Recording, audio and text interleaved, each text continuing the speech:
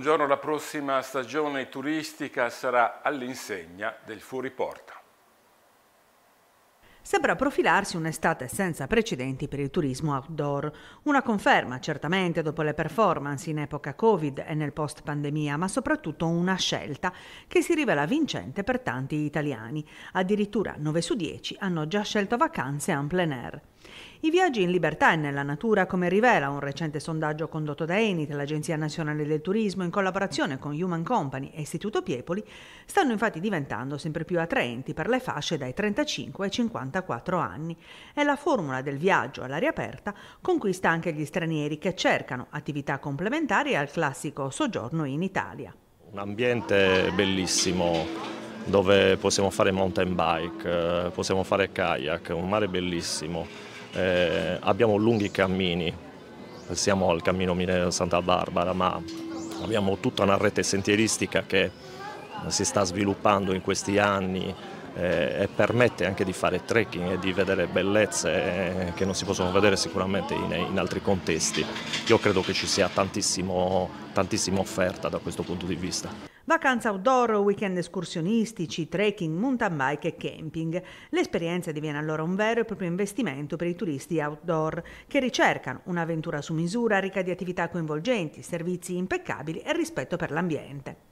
Il settore infatti lo scorso anno ha raggiunto nuovi traguardi grazie al prolungamento della stagione estiva e una crescente domanda da parte dei viaggiatori, tanto che i dati parlano chiaro. Fatturato complessivo di 6 miliardi di euro, 11 milioni di arrivi e un totale di presenze che ha sfiorato i 70 milioni a dimostrazione del successo del turismo open air. Oggi molti, molti turisti, e sono molti ragazzi ma non solo, hanno, hanno proprio la, il bisogno di vivere una vacanza in modo diverso, non nel solito resort, ma magari una, una posada, un, un rifugio, eh, fare molta attività all'aria aperta, subacquea per esempio e in occasione della Fiera del Libro di Iglesias, martedì prossimo, per l'appuntamento organizzato dalla Fidapa Iglesiente, Stefano Vascotto, classe 1965, racconterà la sua avventura a piedi sul GR20, uno dei trekking più duri d'Europa, un'esperienza diventata un libro che raccoglie tutte le emozioni del viaggio sui sentieri della Corsica. È stata un'esperienza fantastica che comunque mi ha dato anche la possibilità di capire come funziona anche il, il turismo nei, nei, lunghi cammini. Sono ospite il 23 aprile eh, qui a Iglesias alla Fiera del Libro. Per me ormai è un appuntamento ricorrente, è già la terza volta che sono ospite qui alla Fiera del Libro e sono davvero contento, sono onorato di questo e ringrazio anche la FIDAPA di, di avermi invitato. Sarà un racconto spero piacevole per tutti. Cagliari per un giorno capitale dell'astrofisica. Per tre giorni, dal 22 al 24 aprile prossimi, Cagliari sarà capitale dell'astrofisica con la seconda edizione del convegno di studi Astronomia e Astrofisica tra Scienze e Umanesimo organizzato da 20 sigle coordinate dall'Ufficio Scolastico Regionale della Sardegna, compreso il Ministero dell'Istruzione e del Merito, l'Università degli Studi di Cagliari, la Regione Sardegna, ma anche l'INAF, l'Istituto Nazionale di Astrofisica e le scuole Euclide e Azzuni del capoluogo, i cui allievi e docenti sono chiamati a seguire una sorta di percorso di eccellenza. Le due scuole fanno infatti parte di una rete denominata Astro Sardegna, formata da otto istituzioni scolastiche sarde. Tema centrale l'astronomia e l'astrofisica tra scienza e umanesimo. Siamo veramente orgogliosi di aver organizzato questo evento.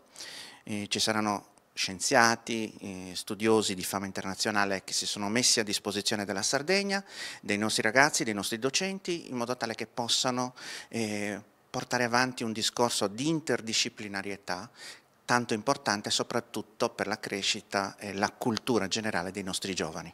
Il punto chiave dell'incontro è, come lo scorso anno, superare la tradizionale separazione tra cultura scientifica e umanistica adottando un metodo multidisciplinare sia nello studio che nella ricerca, che permetterà di creare generazioni di menti pensanti capaci di risolvere problemi oggi ancora ritenuti insuperabili, di generare nuove visioni in grado di impattare in modo positivo e multidisciplinare nella vita di tutti i giorni, nonché di migliorare la competitività dei nostri giovani in tutti i settori. I nostri ragazzi prima di tutto non sono secondi a nessuno ci siamo resi conto effettivamente che dobbiamo dare loro le stesse opportunità che sono offerte anche agli altri ragazzi in tutta Italia. Per cui è stato proprio organizzando questo evento e raccogliendo anche la disponibilità di tanti scienziati e tanti studiosi che metteremo a disposizione pareri, eh, ragionamenti, eh, secondo me tantissimi nuovi spunti di riflessione che non potranno che far crescere le competenze dei nostri ragazzi. Fiducia insomma alle nuove generazioni che hanno talento e niente paura. Non è detto che il percorso si debba concludere per forza all'estero. In Sardegna noi abbiamo una grande fortuna, il Sardegna Radio Telescope e tutto lo staff dei ricercatori dell'INAF si sono messi a disposizione e questa è una grande fortuna. E quindi anche noi abbiamo provato a ricostruire queste sinergie in modo tale da metterle a disposizione dei nostri ragazzi. I nostri ragazzi hanno bisogno di stimoli, perché sono bravi. Sono bravi e quindi vanno valorizzati e noi ci proveremo. Appuntamento quindi a Cagliari, l'ingresso è libero nei tre giorni dei lavori. I docenti, sia di area umanistica che scientifica, potranno formarsi, confrontarsi e seguire insieme e con l'obiettivo di offrire sempre maggiori strumenti ai propri allievi le relazioni di esperti di chiara fama e partecipare il pomeriggio del 22 aprile presso l'aula magna del rettorato dell'Università degli Studi di Cagliari una tavola rotonda di altissimo spessore. Quindi a partire dalla giornata del 22 mattina fino a sera saremo all'Università degli Studi di Cagliari, dove percorreremo una strada, faremo mm, delle importanti riflessioni su questa tematica di integrazione dei saperi e poi passeremo il giorno dopo al liceo Euclide che è capofila del progetto, lì una seconda giornata e infine la terza e ultima giornata dei lavori che la terremo proprio all'SRT, SRT che come sappiamo è a nostra piena disposizione. A Sardegna, eh, esperienza serdiana, chiedo scusa, esperienza in mongolfiera. Serdiana. Serdiana capisce la strada da percorrere, da fare. Capisce l'importanza di scommettere sul territorio, il suo e quello dei paesi vicini. Serdiana fa rete, intuisce, e mette in pratica la filosofia, l'archetipo, il modello di promozione e valorizzazione prima di tutto delle sue eccellenze. Il vino in testa, anche se per una volta, solo per questa, questo settore che è stato mangiato e applaudito neppure qualche giorno fa a Verona, al Vinitali, sarà coprotagonista, anche se gli appassionati del e dei calici, rosso, bianco o rosé, o addirittura le bollicine, già loro tutte sarde, non si perderanno neppure un minuto di quello che la comunità ha allestito nei minimi dettagli, i particolari. Una giornata, insomma, che vale di più di un post sponsorizzato. Perché? Di valorizzare le eccellenze del nostro territorio, eccellenze tanto in termini di prodotti enogastronomici quanto di paesaggio, ma anche e soprattutto di persone. Eh, infatti il nome stesso della manifestazione, Intrecci di Vite, simboleggia tanto l'intreccio eh, tipico della pianta della vite quanto eh, l'intreccio della vita delle persone che quotidianamente lavorano la terra e producono frutti rinomati e conosciuti in tutto il mondo. Già le persone, gli individui non sono solo dei piccoli centri che interverranno alla festa, ma tanti, tanti forestieri, ovvero donne, uomini, famiglie e pure stranieri già turisti che da qualche anno hanno scoperto la bellezza e unicità di queste giornate dedicate alle tradizioni e alla cultura, ai riti di una volta e a quelle case disegnate tanto tempo fa con uno schema longitudinale e caratteristico, caratteri, mestieri di un tempo, Vogliamo far conoscere il nostro territorio per le bellezze che può esprimere e sarà una festa che coinvolge tutta la comunità. Infatti tutte le associazioni sono coinvolte e stanno partecipando attivamente nell'organizzazione della manifestazione. Una domenica particolare, molto particolare, un'esperienza si direbbe così, ma è proprio così, una esperienza a tutto tondo dall'ambiente, alla tavola, ai vini, alle degustazioni, alla esposizione di prodotti artigianali, già altra storia quella dell'artigianato in Sardegna, e ancora escursioni in e-bike, spettacoli, musica, bambini e infine quella mongolfiera che attraverso i media nuovi di comunicazione, Instagram in testa, versione verticale, stories direbbero le generazioni nuove, rilancia, rilancia il nome di Sardiana tra i cittadini del web. Ah, non dimenticate l'immancabile cancelletto, l'hashtag Serdiana eppure Sardegna. Nuova edizione per eh, Time in Jazz, vediamo. La 37esima edizione di Time Jazz bussa alle porte con il suo seguito, come sempre, di grandi nomi nel panorama internazionale. Il tutto dall'8 al 16 agosto nella splendida cornice di Berchida e non solo, per citarne qualcuno, Arzachena, Bortigiada, Porto San Paolo, Ozieri, Tempio Pausania, Tula e tanti altri ancora. La direzione artistica come sempre è affidata a Paolo Fresu, che nel 1988 ebbe l'intuizione culturale.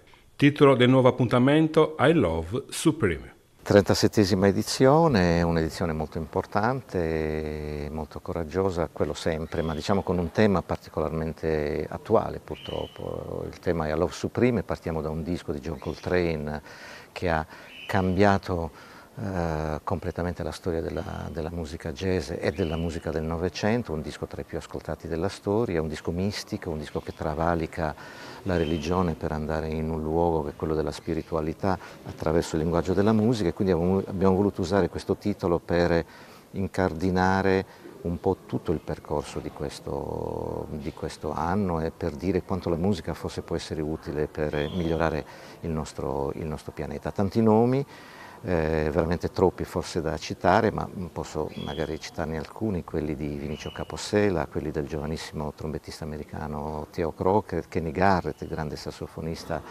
della, del gruppo di, di, di, di Miles Davis, il mio progetto Food insieme a Omar Sosa che arriverà in Sardegna per la prima volta, Nicola Conte, ma poi Roberto Gatto, Neri Marco Re, il concerto all'Agnata e poi tutto quello che accade intorno a Time in Jazz che lo ricordiamo non è solamente musica ma è anche territorio, è scoperta di luoghi tra i più affascinanti della Sardegna e poi Time to Children che è il festival nel festival dedicato all'infanzia. Il jazz nel bacino del Mediterraneo. Il jazz nel bacino del Mediterraneo credo che oggi sia capace di raccontare quello che succede in questo Mediterraneo, in un Mediterraneo dove il teatro delle migrazioni purtroppo è una delle tragedie più grandi che stiamo vivendo, ricorda che se non ci fossero state le migrazioni dei primi del Novecento, quelle anche di noi italiani che siamo andati negli Stati Uniti e in altri luoghi, non sarebbe, nata, non sarebbe nato il jazz. Il jazz è la musica degli incontri, anche degli scontri per certi versi, appunto la musica europea che si incontra con la, con la tradizione delle percussioni africane,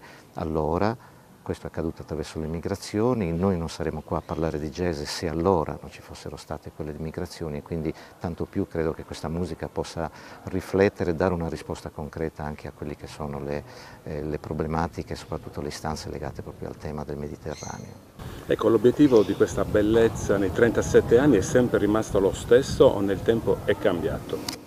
Ma l'obiettivo di questa bellezza credo sia giustamente cambiato, cambiato spero in meglio, nel senso che sempre l'obiettivo è quello di raccontare la bellezza attraverso la musica, è cambiata anche l'utenza, c'è un turismo anche culturale che allora non c'era quando il festival è iniziato nel 1988 e oggi noi dobbiamo necessariamente stare in ascolto, stare in ascolto non solo a ciò che noi riteniamo di dover offrire, ma anche a quello che il pubblico vorrebbe avere da noi. Fare un festival di, di musica oggi significa mettere insieme molte cose diverse, non solo i linguaggi creativi, ma anche e soprattutto relazionare i linguaggi creativi con quelli che sono i temi del territorio, che in questo momento sono fondamentali. Se vogliamo far sì che la gente nel mese di agosto dalle spiagge della Costa Smeralda venga verso l'interno per capire che esiste una Sardegna altra che può contraltare bene e dialogare con le coste, questo bisogna farlo attraverso i contenuti. Ecco, i contenuti della musica, i contenuti della musica che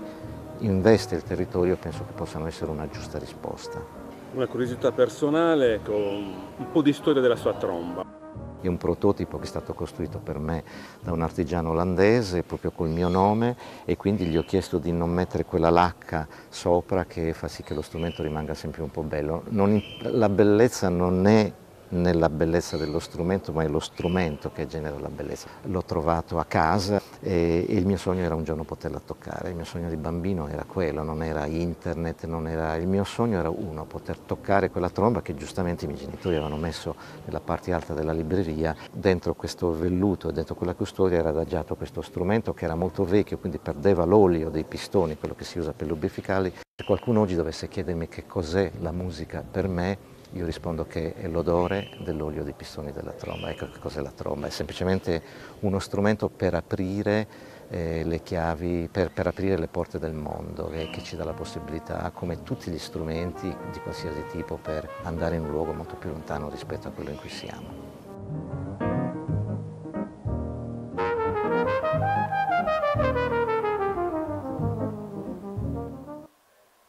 Siamo arrivati alla fine, grazie per averci seguito, arrivederci.